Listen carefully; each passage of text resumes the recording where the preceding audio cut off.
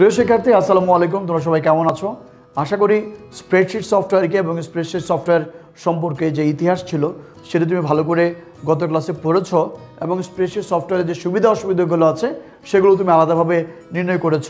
এবং তোমাদের যে হোমওয়ার্ক দিয়েছিলাম, যে তোমাদের পাঁচ বন্ধুর বিভিন্ন তথ্য নিয়ে একটি স্প্রেডশিট তৈরি করো, সেগুলো তোমরা তৈরি করেছ নিশ্চয়ই। তাই আজকের ক্লাসে তোমাদের আবারও স্বাগত জানাচ্ছি। আজকের ক্লাসটি হচ্ছে তোমাদের চ্যাপ্টার ফোরের অর্থাৎ শেষ ক্লাস এই ক্লাসটি সম্পর্কে যে বিভিন্ন সূত্রগুলো আছে, কোনটা কীভাবে ব্যবহার করবা, এগুলো জানতে পারবা এবং তারপরে তোমাদেরকে রিকোয়েস্ট করব। তোমরা কিন্তু আমাদের যে প্র্যাকটিক্যাল ক্লাসগুলো এখানে দেওয়া আছে প্র্যাকটিক্যাল ক্লাসগুলো দেখে একটা একটা করে প্র্যাকটিস করবে এবং ক্লাসগুলো ভালো করে করতে পারবে। তাই আজকের ক্লাসে তোমাদেরকে আবারও স্বাগত জানাচ্ছি। আমরা জানি যে যত বেশি বই পড়বা, তত বেশি আলোকিত হবা, বই পড়ুন, আলোকিত হন। এইবার চলো আমরা যে নিচের কিছু ছবি লক্ষ্য করি। তুমি অলরেডি জানো, এখন আর কোনো অসুবিধা নাই। এটি একটি ওয়ার্কশিট এটি একটি ওয়ার্কবুক সম্পর্কে তুমি ভালো করে জানো।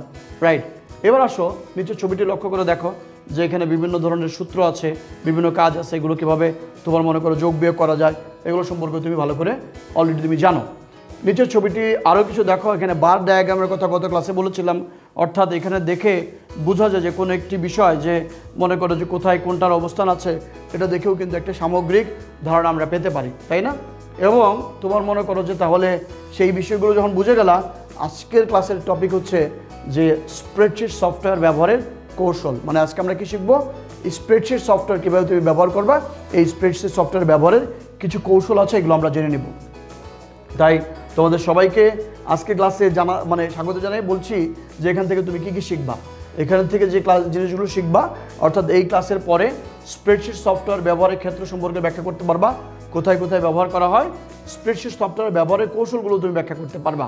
আর সব কিছু তোমাদেরকে জানাব। অলরেডি তুমি জানো যে স্প্রেডশিট সফটওয়্যারের মধ্যে এই যে এক্সেল ভিসি ক্যালক মনে করো যে ভিসি ক্যালক বা ক্যালক এগুলো বিভিন্ন স্প্রেডশিট সফটওয়্যার প্রোগ্রাম হিসাব নিকাশের কাজে ব্যবহার করা এবং এগুলো অ্যাপ্লিকেশন প্রোগ্রাম এটি মনে রাখবা স্প্রেডশিট সফটওয়্যার হচ্ছে একটি অ্যাপ্লিকেশন প্রোগ্রাম অ্যাপ্লিকেশন প্রোগ্রাম কি?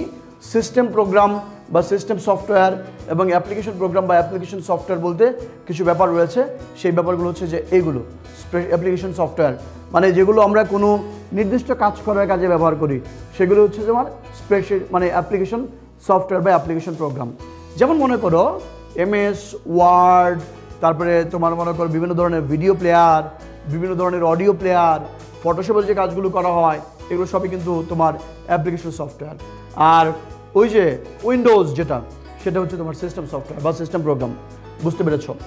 এবার আসো স্পেশাল সফটওয়্যার ব্যবহারের কৌশল।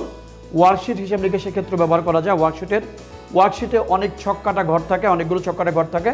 ওয়ার্কশিট একাধিক হয়। একাধিক ওয়ার্কশিট মানে এই যে sheet one sheet two sheet three এগুলো ব্যবহার করা যায়। তুমি তৈরি করতে পারবা। তুমি এগুলো বারবারই বলছি যে তুমি বই পড়ে যতটুকু শিখতে পারবা প্র্যাকটিক্যালি কাজ করতে পারো যেহেতু তোমাদের বই আগে বই পড়া দেওয়া আছে প্র্যাকটিক্যাল ক্লাসটা আমি তোমাদের পরে দেখাবো। এটাকে দেখে নাও।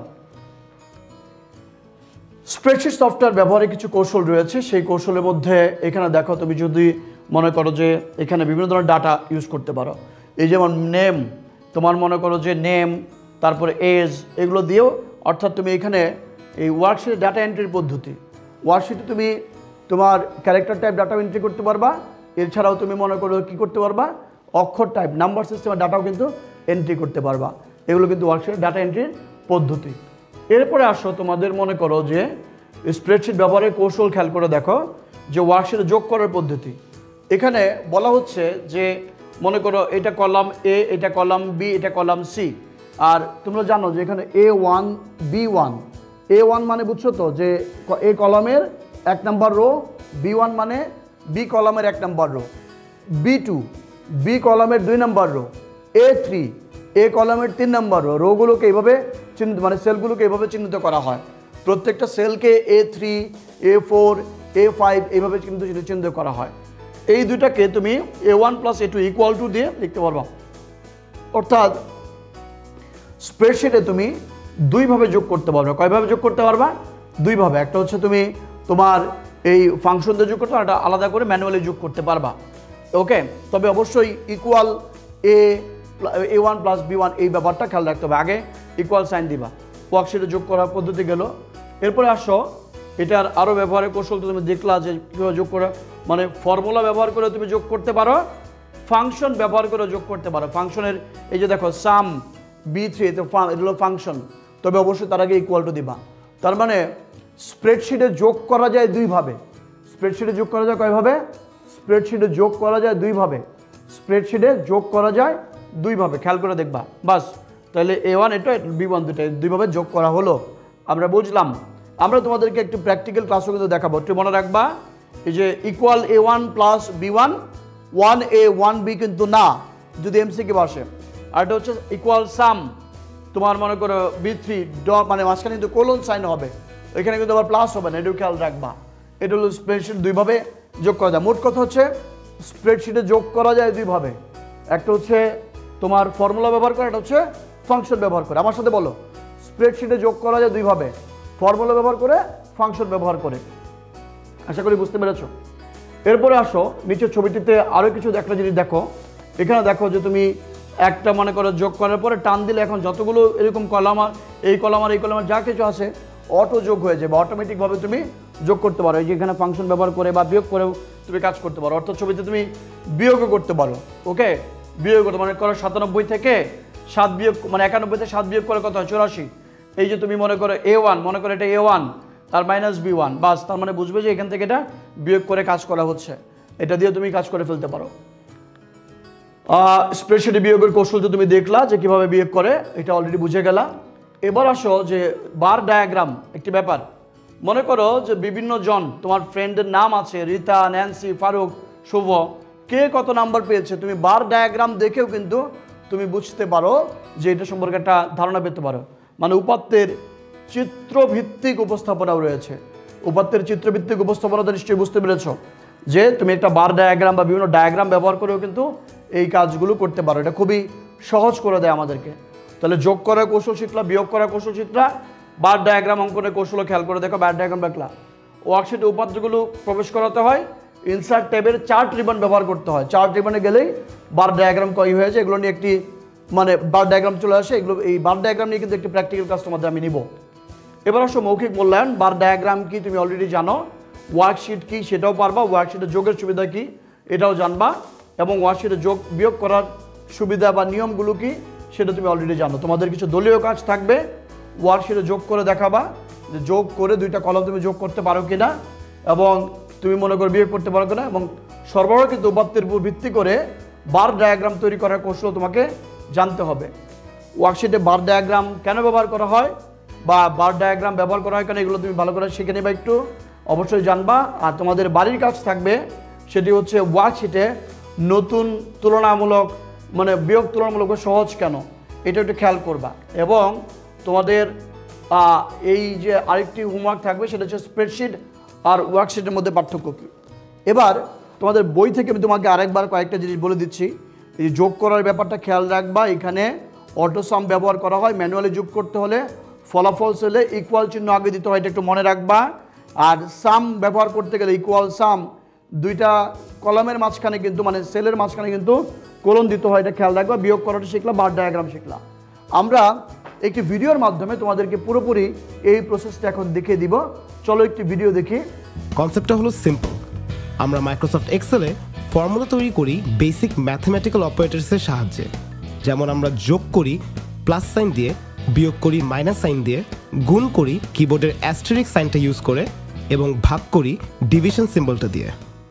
নাও আমাদের সামনে আমরা দেখতে পাচ্ছি একটা স্কুলের পিকনিকের প্ল্যান একেবারেই উপরে রয়েছে মেল স্টুডেন্টস ও ফিমেল স্টুডেন্টসদের নাম্বার এবার আমরা যদি টোটাল স্টুডেন্টদের নাম্বার বের করতে চাই, শুরুতেই একটা ইকুয়ালস টু সাইন দিব এবং ক্লিক করব উপরের সেলটা এবার একটা প্লাস সাইন ইউজ করব সিন্স আমরা এখন যোগ করছি এবং নিচের সেলটা সিলেক্ট করে এন্টার প্রেস করলে আমরা পেয়ে যাচ্ছি আমাদের টোটাল স্টুডেন্টের নাম্বার আমরা যদি এবার মেল টু ফিমেল স্টুডেন্টদের ডিফারেন্সটা বের করতে চাই, আমরা সেম প্রসেসটাই অ্যাপ্লাই করব বাট এবার ইউজ করব আমাদের কিবোর্ডের minus sign e g column eight ও নাইনে দেখতে পাচ্ছি প্রতি স্টুডেন্টের জন্য লাগবে ওদের ব্রেকফাস্ট ও লাঞ্চ হেন্স প্রতিজন স্টুডেন্ট পাবে দুটো করে খাবারের বাক্স।